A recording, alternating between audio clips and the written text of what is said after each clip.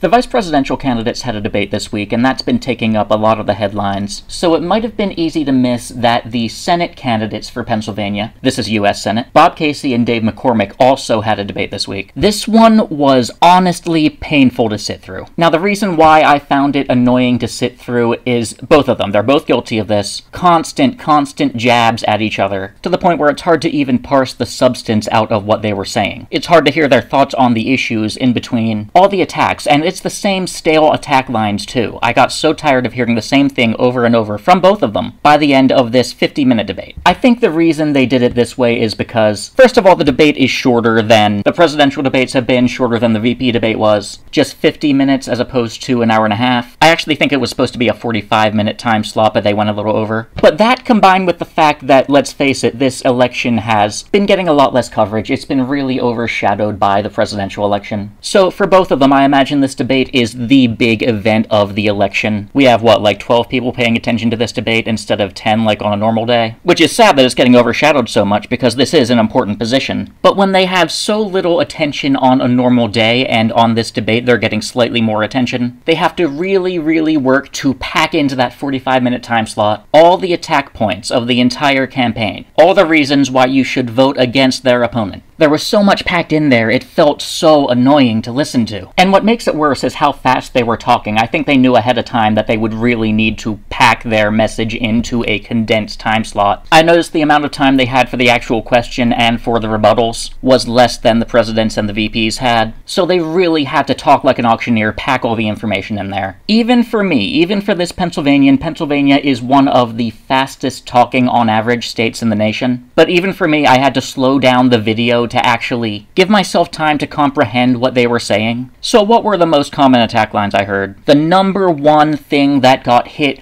way, way, way, way, way too much. That horse is long, long dead by now. Casey saying that McCormick is a hedge fund manager who invested in Chinese companies, and the Chinese companies he invested in produce fentanyl. Over and over and over again to the point where, honestly, I felt kinda numb listening to it. Like, that particular line got old, at least for me. Like, my eyes glaze over by the end of the video, it loses its effect. I don't know if I'm just projecting what I want to be felt onto that, because I do support McCormick, but that's how it felt to me. The other thing that Casey says, of course, is McCormick lives in Connecticut, which I'm not too concerned about that. I even got into that in a previous video when I was talking about Oz versus Fetterman. With Oz, I think the biggest concern was his Turkish dual citizenship. He has property in Pennsylvania. This is, goes for McCormick too. They qualified for whatever legal qualification it takes to run in Pennsylvania, so be it. And in McCormick's case, his family actually has been in Pennsylvania for several generations. The story behind the Connecticut thing I grudgingly had to learn because I'm not super inclined to care, is that he has an ex-wife in Connecticut, and the kids have to split their time between the two parents, so he wants to be closer to his kids. And now for McCormick's worn-out attack lines. CaseyLies.com, if I had a dollar for every time he said that, and if I had a dollar for every time Casey brought up McCormick's China investments, do not make a drinking game out of that, you will die. One good zinger that McCormick actually did get out there, though, is Punxsutawney Bob. Of course, Pennsylvanians know Punxsutawney Phil, that's the groundhog that comes out on Groundhog's Day. He either sees his shadow or he doesn't. McCormick said Punxsutawney Bob only comes out once every six years during election time, but other than that, he stays inside and does nothing. That made me, at the very least, chuckle, and I think because of that little bit of humor value, it's gonna stick in the voters' minds. Yeah, it's a little cheesy, but it's memorable. And then something they slung at each other, both of them did this, the idea that they vote along party lines too much. They are weak in the face of pressure from their own party. But throughout this debate, they ended up just pivoting away from the actual substance of the question they're supposed to answer, and instead going way off topic for just jabs at each other. The moderator actually literally said at one point, I don't want this to be a tennis match. That's a direct quote. Because just so often they're obligated to give this guy and then give that guy back and forth, back and forth, these 15 second rebuttals that they use to just throw more jabs at each other. And it was so exhausting to watch. But let's get into talking about some of the actual questions. The very first one, right off the bat, they did not shy away from the big issues. The very first question was about Iran and Israel. The question was, do you support boots on the ground, American boots on the ground? Of course, both of them are on record supporting Israel. And then the follow up question for that, most of these questions did have a follow up that was related to the first question. Follow up was, is there a line that Israel could possibly cross that would make you stop supporting them? Ultimately, I found both of their answers to this one to be kind of vague, but that's the nature of foreign wars. The situation can change so fast, asking one question and then holding each other to that answer months or even weeks or sometimes even days later, that just doesn't make sense. So I can give them both a pardon for not giving a clear answer on this. But one good thing that McCormick said was Casey's previous support of the Iran deal. That was all the way back at the end of Obama's term. Those of you with long memories might remember a big plane with just pallets of cash going directly to Iran in exchange for, I forget exactly what it was, something along the lines of a promise not to develop nuclear weapons or maybe even permission to inspect nuclear facilities. I, I don't know. The next question was the border. Now, both of these guys, at least so they claim, support stronger border security. McCormick pointed out that Casey did not support the wall in the past. Casey referenced a border bill that McCormick is on record as standing against. A question I actually did find interesting was on the economy. Casey was the one to answer that question first. He started talking about price gouging and shrinkflation, and possibly using the AG's office to go after companies that engage in that stuff. McCormick, though, says, correctly by the way, that the inflation is caused by high government spending. And then he went on to compare Casey's price gouging tirade to communist price controls, which, for the two people whose eyes hadn't glazed over yet at how often they insult each other, for the people who were paying attention enough to parse the actual answer out of all the jabs, over and over China, China, Connecticut, Connecticut. People who hadn't tuned out yet because of all that, I think for those few people, this question was a win for McCormick. Then they went on to abortion. Of course, obligatory, the Democrat has to give examples of some woman who died and claim it's because she didn't have access to an abortion. Of course, obligatory, the Republican has to say that the Democrat wants abortion up to the point of birth. Of course, both of those things get hurled around. But in the middle of that, McCormick actually did give one policy proposal. He wants to see a tax credit given to people who seek fertility treatment. Because he says the cost of that is too high, he wants more people to have access to it. On to the filibuster. This one blew my mind. So the moderator starts out the question, right? Starts out asking about the concept of lowering the filibuster threshold to 51 votes specifically for the abortion issue. Now, Bob Casey could have just stuck with abortion and ran with it, but no, no, no, no, no, no. Let me tell you what Bob Casey did. Bob Casey said he wants to remove the filibuster. Why? Why, you ask, does he want to remove the filibuster? Because he wants to pass more background check requirements for gun sales. In Pennsylvania, a state with as many hunters as we have, in the year of our Lord 2024, where even a critical mass on the left has given up supporting new gun control, Casey, with a straight face, said that he wants to abolish the filibuster to pass more gun control. I just can't get over that one. And McCormick, of course, he had a golden opportunity here to bash Casey over the head for that one. He didn't take it. Instead, he got distracted by Casey's jabs and he started talking about Kamala's policy that the Democrats want to push through and they want to abolish the filibuster for that. Okay, me, Joe Nobody, me, I could have rebutted Casey's answer to that better than McCormick did. Got the timer, 30 seconds, let's go. The Founding Fathers wanted the Senate to be the House of Congress where bad bills that make it past the House too fast get slowed slowed down and they have a lot of time to examine them. Bills such as the gun control that my opponent just said he supports. Now back to the abortion issue, I have a message for Democrats. If the more hardline members of my party try to pass a national abortion ban, and we don't have the filibuster in the Senate, then I won't be able to stand up there, take up the Senate's time by telling them to their faces the importance of personal liberty to this country, and the importance of keeping the federal government out of our personal lives. Boom, that would have been a knockout blow if McCormick delivered that, but no. On such an important thing,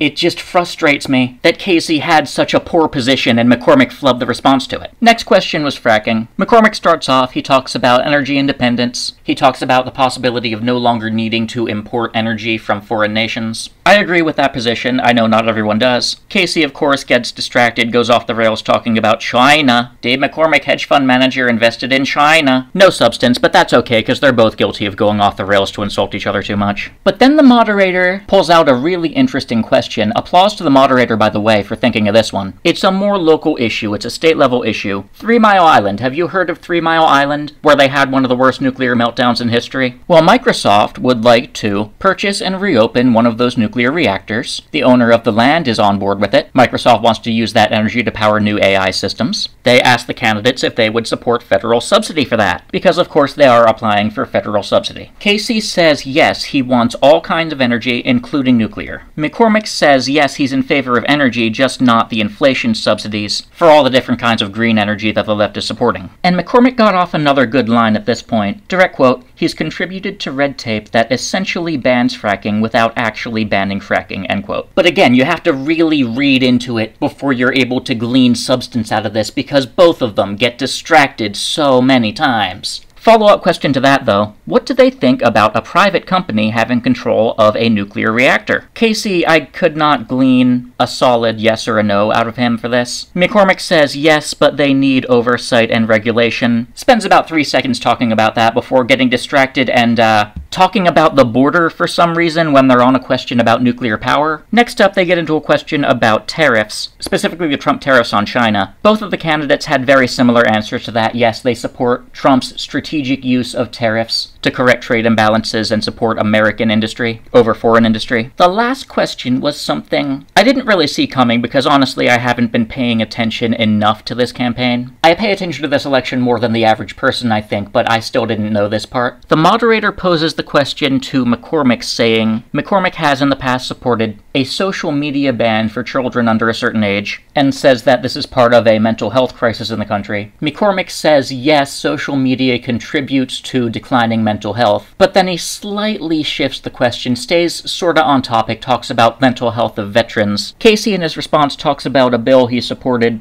that supposedly, according to him, would have increased privacy and safety for children using the internet. And then, of course, Casey also said a piece about veterans' mental health. Casey's closing statement was pretty unremarkable. Not great, not terrible, just as expected. McCormick's statement was pretty much the same. However, I didn't notice the absence of this topic until McCormick brought it up in his closing statement. Brought up the trans people in sports topic. I would say that's an important topic. It's a topic I care about, it's a topic I want to hear more about. I would like to see puberty blockers banned. I would like to see more sports leagues have rules against people competing against the opposite sex. I would like to see gender reassignment surgery not allowed for people under the age of 18, or even better, 21. And these are things that I did not see talked about at all during this debate. Now, who do I think won? Well, McCormick did get off a few good lines. I think they did end up getting lost amid the sea of both candidates getting so far distracted, so far off track, almost the entire debate, and just jabbing at each other senselessly. I would say very, very, very slightly, McCormick did a little bit better in this debate than Casey. But I would also say Casey has a lot of name recognition. Casey is the incumbent. I don't think this debate moved a lot of voters' minds. However, we shall see. In the past decade, Pennsylvania has had a lot of statewide elections go to the Democrats, in fact, almost every one of them. 2022 governor election, the gap was 15 points. Josh Shapiro won, he beat Dave Mastriano, Republican. 2022 Senate election, stroke victim John Fetterman beat Republican Oz by 5 points. In 2018 Senate election, Bob Casey, yes, the same Bob Casey, beat Lou Barletta by 13 points. And in the 2018 governor election, Tom Wolf beat Scott Wagner by a whopping 17 points. So Republicans have not been doing good in Pennsylvania statewide elections at all. I think McCormick is better than a lot of those previous candidates. I think McCormick will actually get within five points of winning that seat. The question is will Scott Presler's army of door knockers, army of voter registration people, bring enough magic to actually push McCormick over the finish line? I would like to see that. I hope they do. I am not holding my breath. One last thing I want to bring up is I think the Democrats have a good strategy when they picked this attack line for this year. In the presidential election, they've been calling tariffs